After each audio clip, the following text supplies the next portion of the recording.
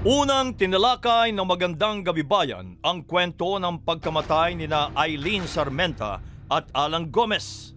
Ikad-dalawampu at siyam ng Hunyo 1993 nang matagpuan ang dugoang bangkay ni Eileen Sarmenta sa sitio Paputok, Barangay Mabakan, Kalawan, Laguna sa loob ng Tamaraw van ng kanyang Upsilonian Fraternity brother na si Alan Gomez, kapwa agriculture students ng UP Los Baños.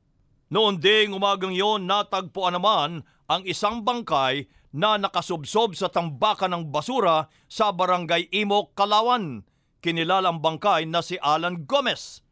Ayon sa autopsy report ng NBI na siyang unang humawak sa kaso, lumilitaw na ang bangkay ni Alan Gomez ay maraming gasgas at pasa sa katawan. Mga palatandang binugbog muna ang biktima bago binaril.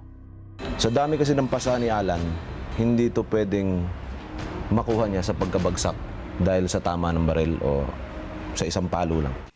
Ayon din sa report, mga dalawang talampakan lamang ang layo ng pagkakabaril kay Alan kaya ang tama sa likod niya ay tumagos sa kanyang dibdib na ikinawasak naman ng kanyang baga.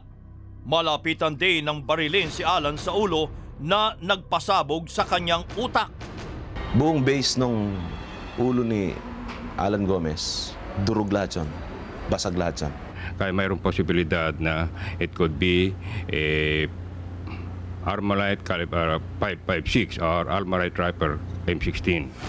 Si Eileen Sarmenta naman ay binaril sa muka at tumagos ang bala sa kanyang utak. Lumabas din sa autopsy na ginahasa muna bago pinatay si Eileen Sarmenta.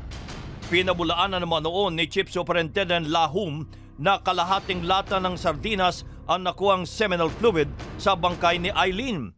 Pero inamin niyang hindi sinaid ng medico legal ang pagkuha ng lahat ng seminal fluid sa katawan ng biktima dahil sa procedural standards na sinusunod.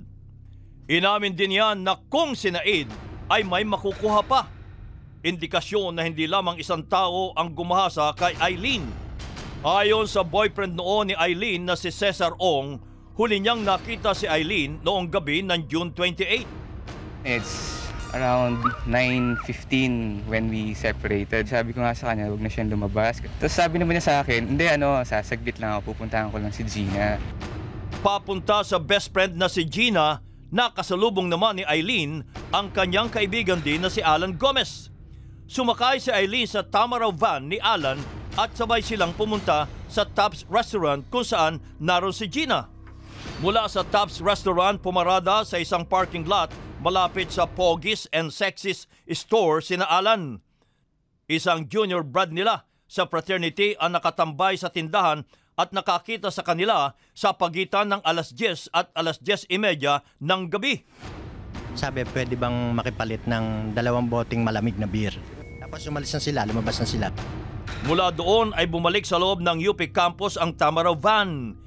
Ito na ang huling beses na nakita pang buhay sina Alan at Eileen bago sila dinukot at maranasan ang mala impyernong sinapit ng dalawa sa kamay ng pitong suspect. Pero noong una, hindi kaagad sina Mayor Sanchez at mga tauhan nito ang inakusahan sa krimen.